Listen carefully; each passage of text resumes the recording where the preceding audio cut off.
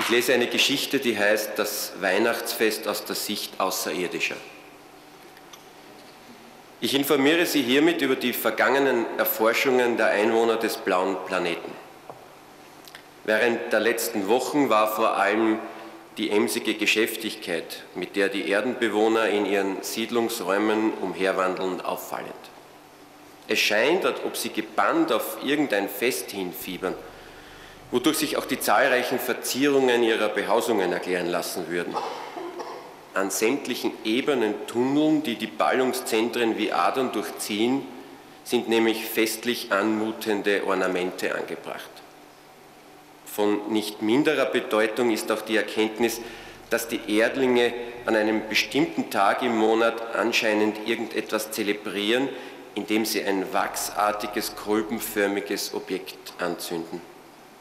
Als ich mich erst letzte Woche auf dem Gebiet einer riesigen Kontinentalplatte östlich eines hoffnungslos verschmutzten Kontinents hinabließ, kam mir zum ersten Mal der Grund für all die Hektik zu Ohren. Weihnachten. In ihrer primitiven Sprache und den mangelhaft kommunikativen Fähigkeiten ist ihnen wohl keine bessere Bezeichnung in den Sinn gekommen. Während ich hier ganz in der Nähe unserer Raumstation, welche sich auf dem Erdtrabanten befindet, in der Luft schwebend diese Zeilen niederschreibe, feiern die Erdlinge gerade besagtes Fest. Die größeren und grober aussehenden überreichen den kleineren, schmächtigeren Bewohnern offenbar ihren Nachkommen Pakete in glänzenden Materialien gehüllt.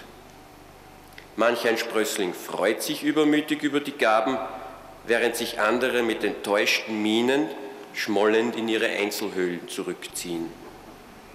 Meist wird vorher noch eines der imposanteren Gebäude dieser Spezies besucht, in welchen die Erdlinge eigenartige Verse vor sich hinmurmeln und andächtig gen Himmel blicken.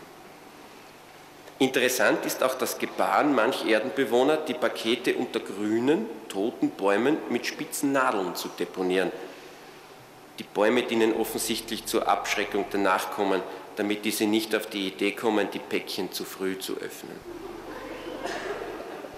Nach intensiver Auseinandersetzung mit dem Verhalten der Erdlinge um diese Zeit herum bin ich zu dem Schluss gekommen, dass das Weihnachtsfest ganz im Gegensatz von allen anderen armseligen Leistungen des Menschenvolkes durchaus ein respektabler Brauch ist.